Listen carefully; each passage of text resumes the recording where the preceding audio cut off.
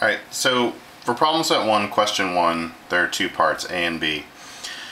So the first part, A, is rank the following alkyl halides according, according to increased SN2 reactivity. The second part is try to specify which of these two reactions will proceed with a higher rate. So part A is pretty straightforward. So here what you want to look at is you want to look at the structure of of your substrate or the structure of the electrophile in this SN2 reaction. So here you have a tertiary substrate. These never undergo SN2 reactions. Here you have a secondary substrate. These are borderline. Sometimes they'll go SN2, sometimes they'll go SN1, sometimes they'll go E1, E2. And then here you have a primary substrate, which is ideal for SN2 reactions, but you have a lot of steric bulk here, so when you compare them to these two substrates. So hopefully you can identify that A is the worst substrate, B is second worst, then we get into C, which is a somewhat reasonable substrate. And then, so the question is, what's the difference between D and E? And it's the leaving group. Hopefully you can recognize that bromide is a better leaving group than chloride. so then comes E, then D.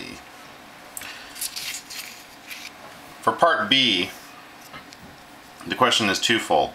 In, in the first part, understanding which of these two SN2 reactions are better. So this is an important point. This is an SN2 reaction because even though this is a polar protic solvent, you're dealing with strong nucleophiles in both cases, right? So hopefully you recognize this thiolate. So when we have that list of nucleophiles we presented in lecture, thiolate is a better nucleophile than methoxide. So the thiolate reaction will proceed at a higher rate as compared to the methoxide. You contrast that down here to which of these is a stronger base. So thiolate is a better base. It's a harder nucleophile. This is a softer nucleophile. It's a softer electrophile. Um, and then hopefully you can recognize that there's no way that this is going to undergo SN2. So you're still with strong bases or strong nucleophiles, but for this problem it's strong bases.